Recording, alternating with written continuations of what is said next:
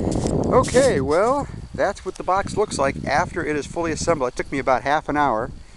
Um, had a little bit of trouble getting it together this time. I don't know what the deal was. Um, but there it is. It's uh, it's about a, it's a 12 foot kayak. There's enough room in there to carry. Uh, I think it's rated at 260 pounds.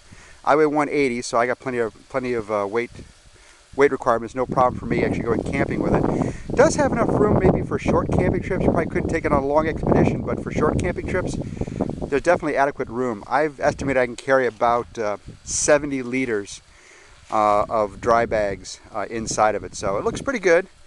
Got a paddle, nice little paddle to go with it. I'm wearing a nice bright orange vest. But uh, I'm going to be out here paddling for a couple hours, check this lake out, and then back on the road and get home. But here's the lake I'm paddling. It's really pretty. This is uh, this is called Devil's Kitchen Lake at, uh, in Crab Orchard National Wildlife Refuge in southern Illinois near uh, Carbondale. So able to take some pictures while I'm out on the lake here and kind of show what it's like to uh, paddle this guy.